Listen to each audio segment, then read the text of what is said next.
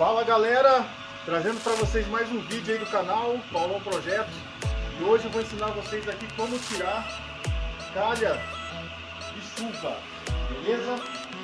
Já tá fazendo aqui um trabalhinho nesse Celta. Vamos envelopar de todo e precisamos remover essa calha sem danificar ela, sem quebrar ela. Então muita gente às vezes não consegue tirar sem quebrar. E a gente vai dar uma noção agora como é simples e fácil. O que, que você vai precisar? Uma linha dessa daqui, ó, de pesca. Vamos, ó. Fazendo uma linha fina aqui. E você vai somente fazer isso aqui, galera. Tá vendo, ó? Vai encostar a linha aqui, ó. E vai fazer esse movimento aqui, ó. Para que esse movimento? Para cortar o silicone. A dupla face que tá colando essa calha aqui, ó. Olha só como é fácil, galera. Mas antes vou parar aqui e pedir para vocês, segue a gente aí, galera.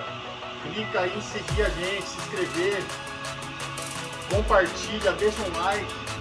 Beleza, galera? Fortalece nosso canal no YouTube aí. Vamos lá, ó. Vamos que vamos, simples, ó. Sem pressa. A linha vai aquecendo a dupla face ressecada e vai removendo, ó. Então vamos lá.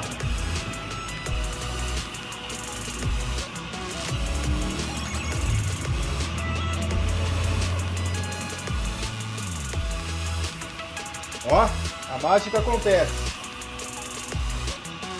Fácil, né, pessoal?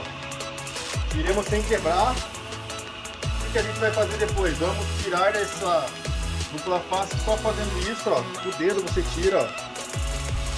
Você vai empurrando aqui, ó, forçando. E depois a gente vai colocar uma dupla face nova. E vamos colocar de novo no mesmo local. Beleza? Você curtiu o vídeo aí? Não se esquece, deixa o like. Beleza?